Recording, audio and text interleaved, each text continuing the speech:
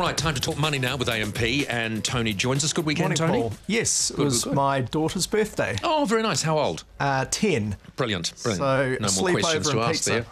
Um, sleepover and pizza. Yeah.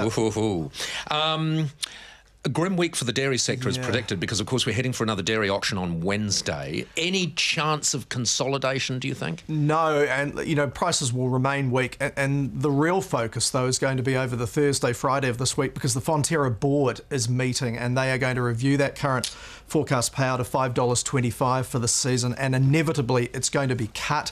The only question is by how much. A lot of people are saying, look, based on current prices, probably going to be cut by a dollar. Now, at the moment, that you know, many farmers, even at five dollars twenty-five, are not going to be able to break even this season. It means they're now going to be looking at two bad seasons in a row. And look, if, if the chop to the uh, forecast payout on Friday is worse than people expect, then there, well, you'll also see a move in our dollar. Already been weakening, of course, a lot in recent weeks. Currently just under 66 US cents. A lot of economists saying, look, by the end of the year, more likely to see a dollar around 60 cents. All right, that um, low dollar, the weakening dollar, of course, is good news for Rio Tinto.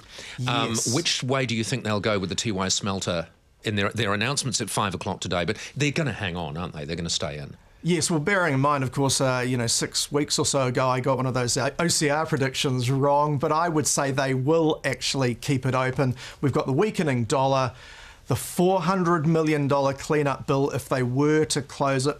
Of course, on the other side of that, Yeah. uh, aluminium prices like dairy, you know, 5 they're in to the toilet. six year Yeah, lows. they're in the toilet. But I think they will keep it open. And I think they'll keep it open too.